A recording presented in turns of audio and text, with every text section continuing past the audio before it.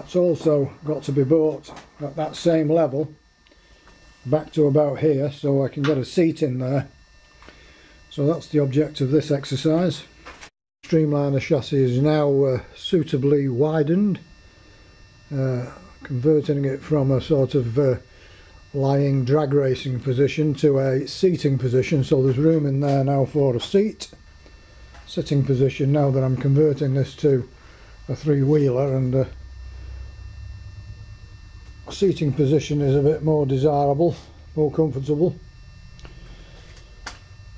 The chassis is all lined up now with the engine at the back, jet engine, uh, using markings on the floor and I've suitably anchored the chassis down to the floor so that it cannot move whilst I'm doing this uh, further work of uh, making new chassis pieces to join up with the original motorcycle type streamliner chassis that I built some years ago to incorporate this jet engine and two wheels at the back. Well this looks like a glorified shopping trolley. This is the new rear chassis piece I mentioned earlier which is under construction and will be slid into place and joined up to the main chassis tubes alongside the jet engine and joined to the existing front chassis. So when we've done that with some more video of it. Of this video is uh, about 10 months after the first part of this video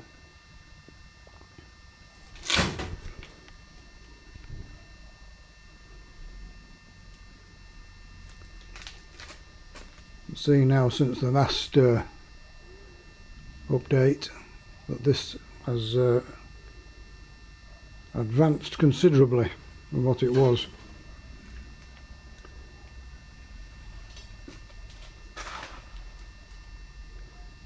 Engine is now in. Chassis is more or less completed. Maybe a few odd brackets here and there to do. Ignore the rusty tube that is uh, going to the floor there because this is all anchored down to the floor and I've set it all up with spirit levels, plumb line, string, straight edges and so on. Don't have a laser level. I didn't build the Eiffel, Eiffel Tower using a laser level, I don't think. That's still standing.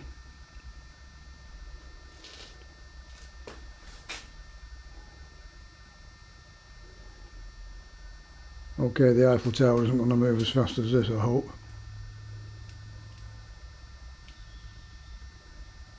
Having done over 200 miles an hour now on two wheels, I'm not uh, expecting really to set any records as such.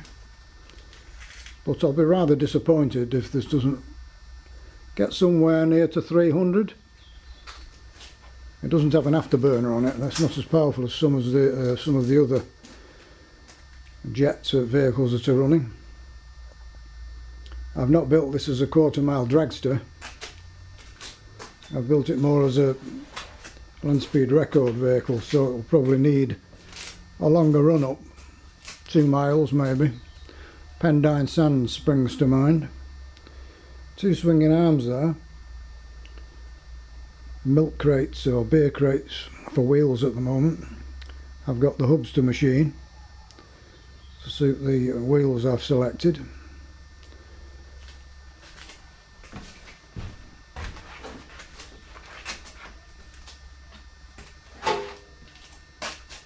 skeleton structure there for the tail fin.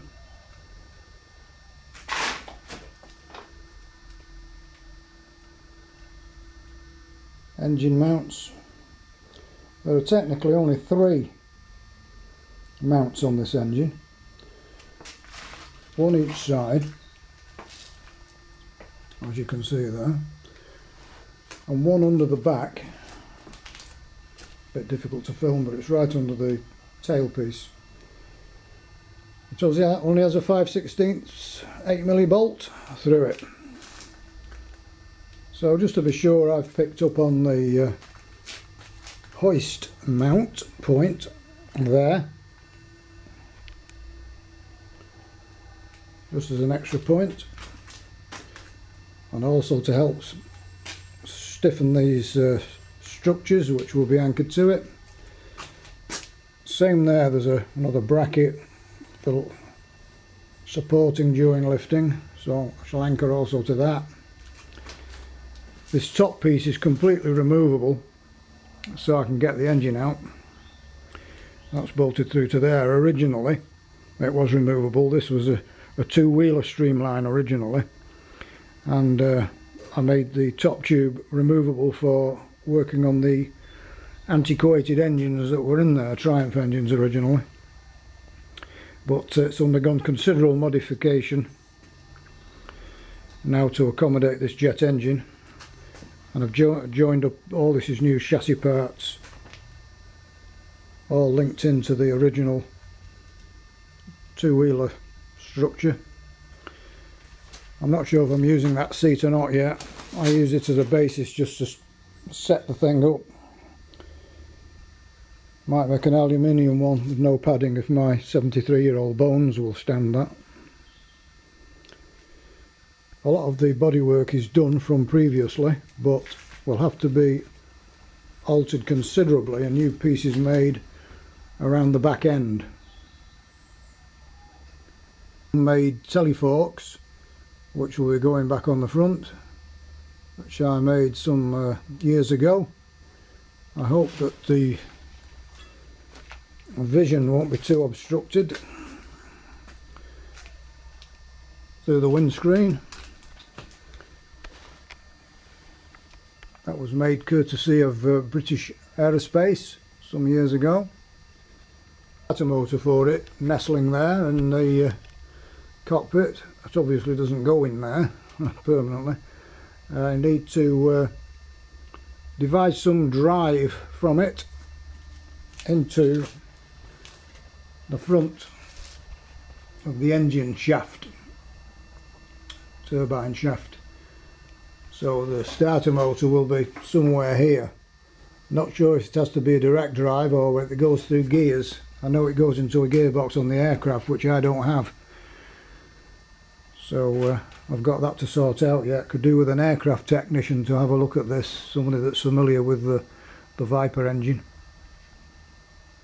I've got a lot of workshop manuals and drawings for it, but there's so much for one person to uh, master. I need some expert help, I think, when I'm ready to run it. Two wheels at the back, as I uh, previously said, I think. Um, two swinging arms that I've made, one on each side. and a wheel at the front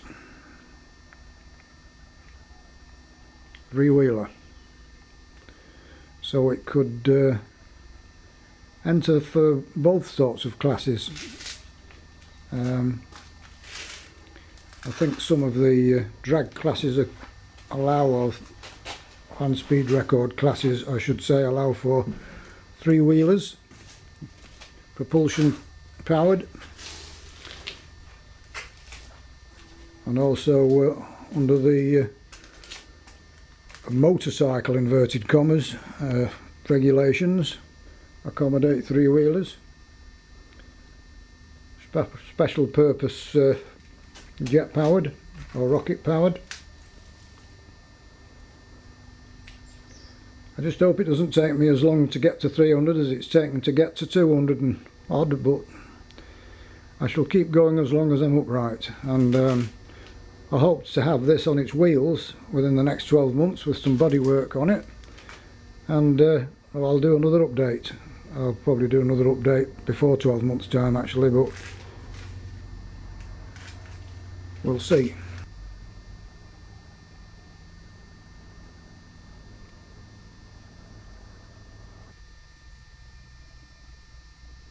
That's all